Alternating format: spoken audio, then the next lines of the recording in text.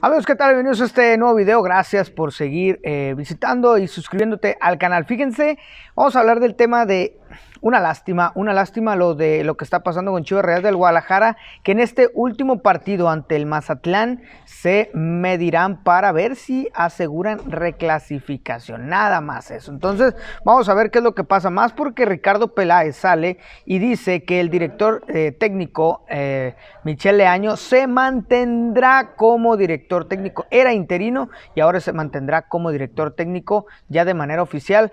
No sé eh, de qué momento Dice Ricardo Peláez en un video, dice que esto fue estudiado y esto fue analizado.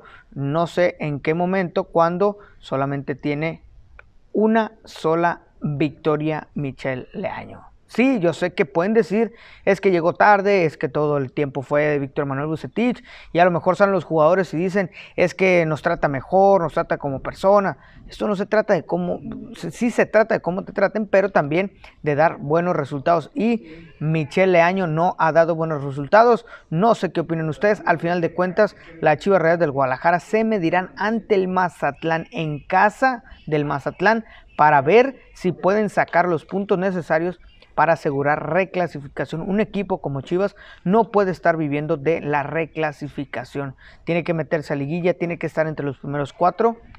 Vamos a ver qué es lo que sucede, porque no, no es, no es bueno ver a Chivas en esa parte de la tabla. Veremos qué sucede. ¿Qué opinan ustedes? Déjame aquí abajo en los comentarios. No olvides suscribirte al canal.